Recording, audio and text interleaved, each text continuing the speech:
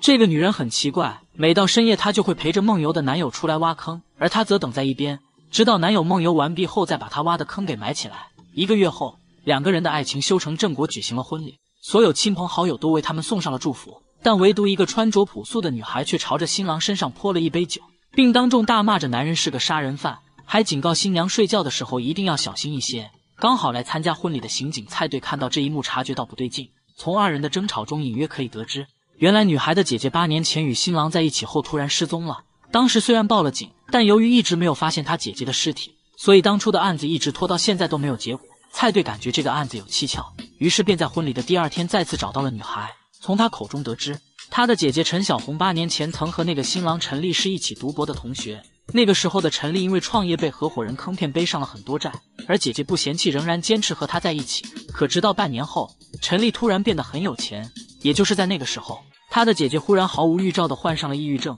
不但被陈丽送到了精神病院，甚至在里面还无缘无故的失踪了。蔡队听后认为，仅凭这些或许不能断定他姐姐的失踪与陈丽有关，但女孩却告诉他，她之前多次跟踪过陈丽，发现他晚上睡觉后有梦游的习惯。而且在梦游时还会不停的在地上挖东西，因此他怀疑姐姐一定是被陈丽给杀了埋了起来。蔡队听后意识到这起案子的严重性，于是他开车来到了负责当年失踪案的派出所。这里的警员都对陈小红的案子印象很深，因为他刚刚失踪的时候，陈立还悬赏五十万奖励那些提供消息的人。可奇怪的是，后来警局找到一个蓬头垢面的流浪女人，警方让陈立过来辨认时。他只是在电话里听了一下这个女人的特征，连面都没见，就很肯定的说那个女人不是陈小红。蔡队二人听后怀疑陈立之所以表现出这两种极端的态度，或许是因为他早就知道陈小红已经死了。回到警局后，警员小洛立刻调查了陈丽的资料，发现他在十年前曾与陈小红还有另外两个合伙人成立了一家制药公司，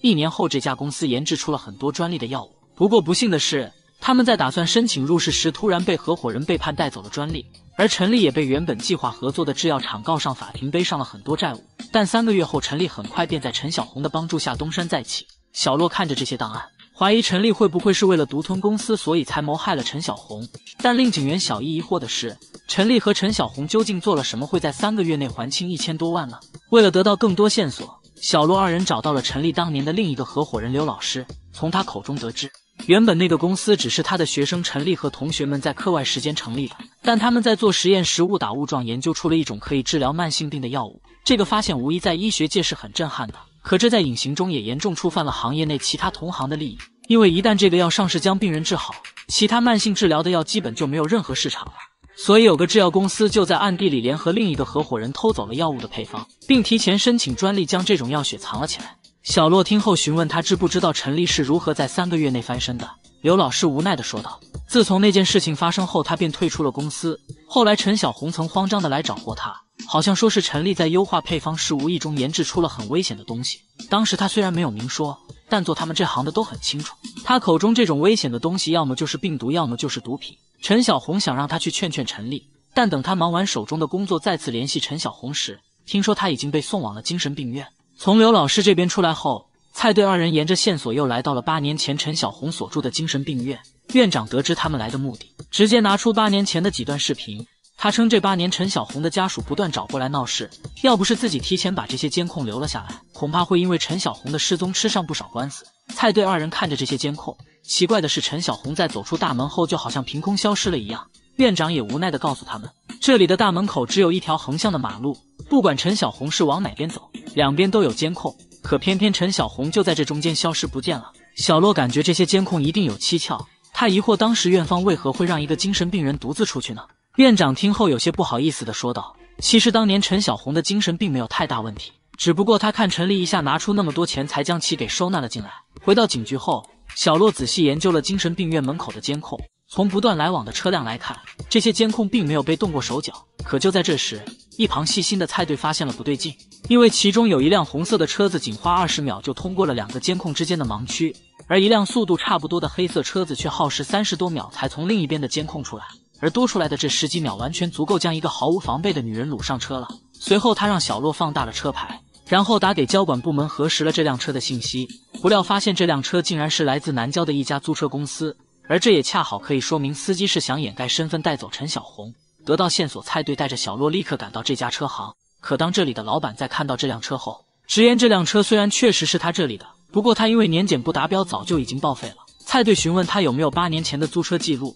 老板无奈称他这里只是小本买卖，所以当时那些押金和身份登记信息都是手写的。而现在八年过去了，那些手写的信息早就都丢了。眼看好不容易有了眉目的案子又要搁浅，就在蔡队准备离开时，老板却突然想起来，那辆车子的 GPS 他没舍得扔，放在了其他车上。很快，他将那辆车的 GPS 拿过来连上了电脑，打开记录一看。发现这辆车在精神病院做了短暂的停留后，就直接开往了三百多公里外的一个村子。而这个村子，小洛之前调查陈丽档案的时候曾留意过，那里正是他母亲所住的老家。如果陈丽真的已经将陈小红杀害了的话，那再结合他妹妹口中陈丽晚上梦游挖东西的行为，小洛怀疑陈小红的尸体一定是被陈丽给埋了起来。为了验证这个猜测，他们驱车百里来到了陈丽的老家。蔡队在村口恰好碰到一个外出干活的大爷。大爷一听是找陈丽，还以为他们是来参加陈老太葬礼的。从大爷口中得知，陈老太前两天刚刚参加完儿子的婚礼，回来后干活时就不小心从山坡上摔了下来。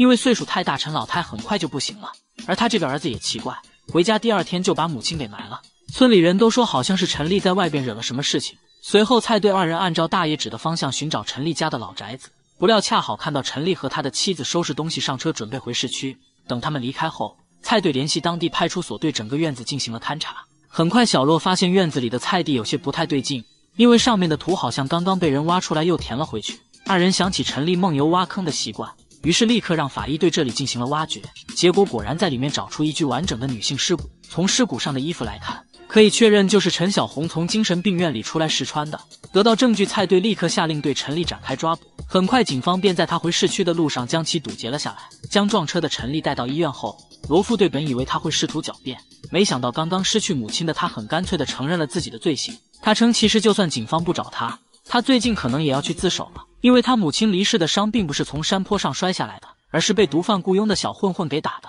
原来，当年他和陈小红在研究新药时，意外发现一种新型毒品，这种毒品不但纯度高，而且上瘾性也很强。本来他们并没有打算将配方卖出去。但后来他被合伙人背叛，整日被债主威胁，于是他一狠心便将配方高价卖给了毒贩。而陈小红知道这件事后很生气，二人因此大吵了一架。后来陈小红便开始内疚自己发明了这个东西，时间一久，他便患上了抑郁症，而且还三番五次的打电话向他母亲说起这件事情。而母亲得知后，突然让他们回了趟老家，并刻意让他租了一辆车回去。刚开始他不明白母亲为何要这样做，直到陈小红在老家当面要挟，如果他不去自首。那么他就立刻回市区去举报这件事情。本来以为母亲也会跟着劝他，没曾想他竟直接告诉陈小红，三十多年他好不容易把儿子送出这个山沟，如果陈小红不能和自己的儿子一条心，那么他就别想着离开这个地方。他本以为母亲只是生气吓唬一下陈小红，没想到当陈小红真的打算离开时，母亲却拿起斧头直接砸死了他。当时的他被这一幕吓坏了，